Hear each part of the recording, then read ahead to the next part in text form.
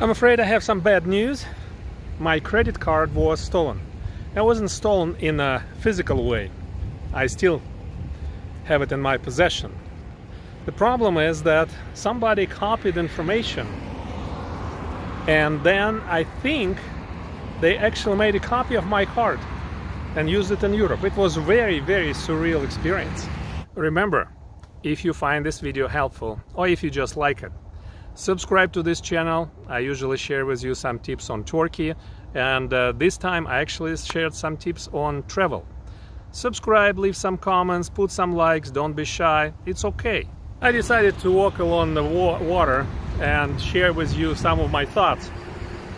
First of all every month at the end of the month i go to my bills and i pay them. Credit card is no different. August 31st just a few days ago I decided to do the same thing. I open credit card bill and I see huge bill. I know my bill would be a little bit more expensive than usual. But when I saw the amount, that was something else. I actually stressed out. I called the bank and asked them to check. And when you overseas, it's not that easy because I can tell you it's a strange thing and I will tell you all the ideas which I came up with because if it happens to you you can probably watch this video and uh, prevent quite a few of those things happening. First of all, lesson number one. When you're traveling overseas, use the credit card which has pretty low limit. Limit maybe a little bit more than you expect to spend on that trip. That probably will prevent you from a lot of things. In all times, few years ago, the bank would ask me to call and open the country which I'm traveling to. That way they know that if it's used in a different country, then it's fraud. Now, many banks don't do that, particularly big banks. They say we will check it and we will call you if we see something wrong. This time they didn't see it. The bill was over $13,000 and it's in one month. There is no way I would be spending that kind of money on a trip. But that's what it was. First of all, when I called the bank, after the conversation and uh, review of the charges, they said they have to send me a code or they have to call me. And my phone was not set up for that exactly right away. They couldn't call me right away, so we had to do it a few times. Eventually it worked, but you know, the longer you continue working on this process, the longer you stress out. Lesson number two, make sure that you have a very good phone connection and not only you can call like through Skype or some other devices, but the bank can call you and text you. And when you go for a long time, roaming could be really expensive. I didn't really connect it. But that was not a problem. The first problem, as I said, it was a choosing high limit credit card. I shouldn't done that. The other lesson which I learned, don't use debit card. No way should you use debit card because it could be copied in the same way. And I don't know if it's a new scam because I haven't seen it before. I've heard in old times people were copying magnetic stripe on the credit cards, but now there is a chip. So how did they do it? I don't know. I know that other people claiming that it could be done over online where they get the security code, etc., etc., and that way uh, somebody can use your credit card in a fraudulent way. But in this particular case, from what I was told and what I saw, that people used it in the restaurants. And to use in the restaurants, you gotta have some kind of a physical card. Lesson number three. I would say that you need to check your credit card bill or charges. Probably every two or three days because you never know when it's gonna happen.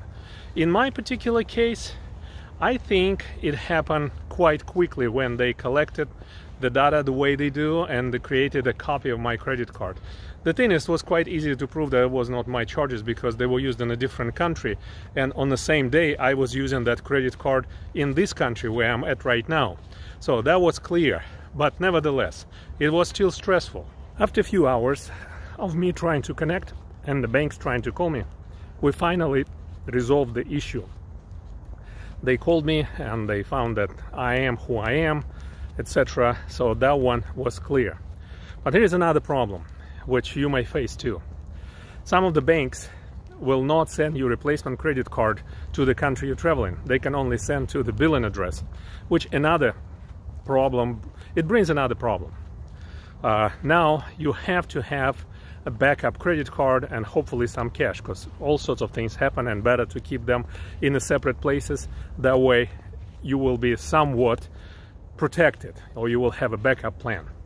So from what I found out, my bank, they're sending a replacement credit card to the registered address. That means that I will not get it in a while because there are some other ones and what I found out, which was another ridiculous thing, I did not check that my backup card expires in September. So I'm okay to travel throughout September, but then I have to get my credit cards straight. And don't forget to subscribe, leave some comments, ask me some questions. I will be happily answering them and put some thumbs up. Don't be shy. It's it's okay. Another tip. You see, you have some automatic payments for certain charges whatever they are in your case in my case it was phone charges like uh, the way the phone is paid phone bill and a few other bills they were on a credit card which was stolen which means that I need to go and update information on those bills on those automatic charges. And sometimes it's not that easy because if you travel in a country which is not the country of registration some banks will have filters and uh, you will have to have VPN just to get to them. And then they will have to send you the security code which you have to receive through your email or uh, SMS or text etc which makes the whole thing complicated. What I've learned and what I'm gonna do right away I'm going to dedicate one card strictly to automatic charges.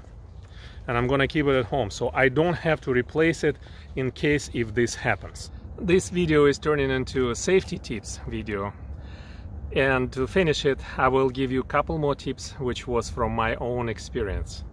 I decided to stop because it's a long walk and I think you can hear me breathing pretty heavily because it's up and down all the time. A long time ago my kids were young and we traveled to all-inclusive resort. Somewhere I've read that you always have to wear comfortable shoes when you travel. Doesn't matter if it's a bus or train or airplane. And in Europe, it's no different than any other places. At that time, we as a family went to Dominican Republic. The bus, which was supposed us to pick up from the hotel and to the airport, was delayed and arrived late we literally arrived like at the time when the airplane was departing. Actually, I think the people at the gate had to call the airplane and say, hey, stop, there are some people coming. So we were running on a runway. It was quite funny, but that's what we did. And from then on, my kids learned the lesson. No flip-flops when you travel. If you sit at home, if you go for a comfortable walk, dress the way you want. If you travel, you gotta be ready to run, and that's important. Because the second story, which I'm telling you, we had to run. That was at the time when we were traveling to the World Cup soccer. That was not too long ago, but a few years ago.